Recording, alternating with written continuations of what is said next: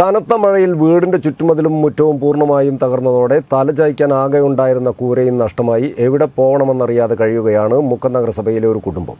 പതിനഞ്ചാം ഡിവിഷനിലെ കിഴക്കേ വായനയിൽ ഭരതനും ഭാര്യ അംബികയുമാണ് ഏത് നിമിഷവും തകർന്നു വീഴാവുന്ന സ്ഥിതിയിലായ വീട്ടിൽ കഴിയാനാവാതെ നിസ്സഹായരായി നിൽക്കുന്നത്.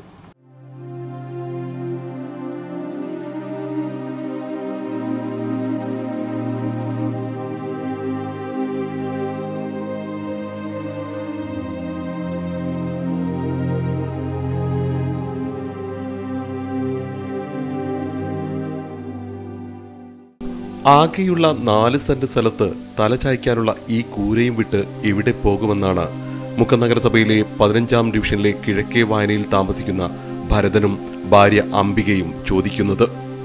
ഇക്കഴിഞ്ഞ ആറാം തീയതി രാത്രിയാണ് ഇവരുടെ വീടിന്റെ മുറ്റവും ചുറ്റുമതിലും പൂർണമായി തകർന്നു വീണ് ഓടിട്ട ഈ പഴയ വീട് നിലംപൊത്താറായ അവസ്ഥയിലായത്.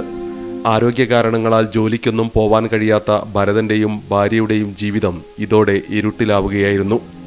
വീടിന്റെ അപകടാവസ്ഥ കണ്ട് സ്ഥലത്തെത്തിയ റവന്യൂ വകുപ്പ് അധികൃതർ ഇവരോട് ഇനി ഇവിടെ താമസിക്കരുത് എന്ന് നിർദ്ദേശിച്ചിരിക്കുകയാണ്.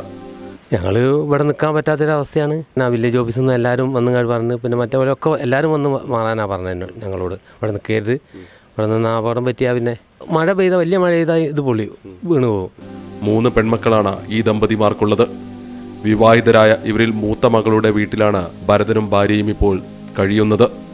ഏറെ വർഷങ്ങളായി ഇവിടെ താമസിക്കുന്ന ഭരതനും കുടുംബവും സാമ്പത്തിക പ്രതിസന്ധിയെ തുടർന്ന് ആകെയുള്ള പത്ത് സെന്റ് സ്ഥലത്തിൽ പകുതി വിറ്റതോടെ സ്ഥലം വാങ്ങിയവർ ഇവിടെയുള്ള മണ്ണെടുത്ത് നീക്കി വീട് പണിതു. അതോടെ ഉയരത്തിലായ ഇവരുടെ വീട് അപകടാവസ്ഥയിലായിരുന്നു. അന്ന് മധ്യസ്ഥ ധാരണ പ്രകാരം കെട്ടിയ പാർശ്വഭിത്തി ഉൾപ്പെടെയാണ് ഇപ്പോൾ രണ്ട് വീടുകൾക്കും അപകടകരമായ തോതിൽ തകർന്നു വീണത്. അങ്കനവാടി ഹെൽപ്പറായി ജോലി ചെയ്യുന്ന ഭാര്യ അംബികയുടെ തുച്ഛമായ വരുമാനത്തിലാണ് ഈ കുടുംബം കഴിയുന്നത്. ഇപ്പോഴത്തെ അവസ്ഥ വളരെ മോശമാണ്. കാരണം അച്ഛനും അമ്മയും ഒറ്റയ്ക്കല്ലേ? അപ്പോൾ ഞങ്ങൾക്ക് അപ്പോൾ അനിയത്തിന്റെ നടുക്കത്തെ അനിയത്തിന്റെ വീട്ടിലാണ് അപ്പോൾ താമസിക്കണം അതന്നെ ചെറിയൊരു വീടാണ് അവിടെ ഒരിക്കൽ തന്നെ നിൽക്കാനുള്ള സൗകര്യം ഇല്ല അല്ലാതെ പോലും നിവൃത്തിയില്ല. അപ്പോൾ അവിടെ എന്തെങ്കിലും ഒരു സഹായം അത്യാവശ്യമാണ് ഒരു ഭാഗത്തുനിന്ന്. അമ്മയ്ക്ക് അച്ഛനും ഇപ്പോൾ ഒന്നും ചെയ്യാൻ കഴിയില്ല. അച്ഛൻ ഇപ്പോൾ ജോലിക്ക് പോയില്ല. അമ്മ അംഗൻവാടി അംഗൻവാടി ഹെൽപ്പറായിട്ടാണ് ജോലിക്ക് പോകണം ആ ഒരു വരുമാനത്തിലാണ് അച്ഛനും അമ്മ ജീവിക്കുന്നത് അപ്പോൾ അതിപ്പോൾ അവർക്ക് ജീവിക്കാൻ തന്നെ ഉള്ളൂ ആ പൈസ. വേറെ ആവശ്യങ്ങൾക്കൊന്നും ഉണ്ടാവില്ലല്ലോ. വീട് ഏത് സമയത്തും വീഴാനുള്ള അവസ്ഥയിലാണ്. ഒരു മഴ നന്നാക്കി പെയ്താൽ വീഴാനുള്ള അവസ്ഥയിലാണ് വീട് നിൽക്കുന്നത് ഇനിയൊരു വീട് നിർമ്മിക്കുക എന്നത് ഇവർക്ക് താങ്ങാവുന്നതിലും അപ്പുറമാണ്. ഈ സാഹചര്യത്തിൽ അധികൃതരോ സുമനസ്സുകളോ കനിയുമെന്ന പ്രതീക്ഷയാണ് ഈ കുടുംബത്തിനുള്ളത്.